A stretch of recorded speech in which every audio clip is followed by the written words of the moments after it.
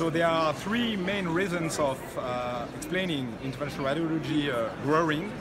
First of all, there is a pharmacoeconomic uh, reason.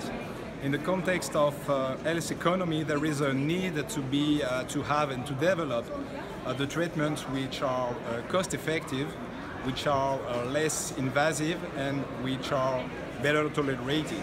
So thanks to the because the IR techniques are mini-invasive, uh, they have well demonstrated the cost effectiveness in daily practice. The second reason is that uh, interventional radiology is strongly, strongly evidenced in thousands of publications and after millions of procedures uh, all over the world in daily practice.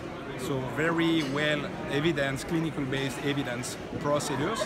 And the last uh, reason is that there is a very active research and innovation in the field uh, in the near future. So we, we can see regular innovation in uh, interventional radiology.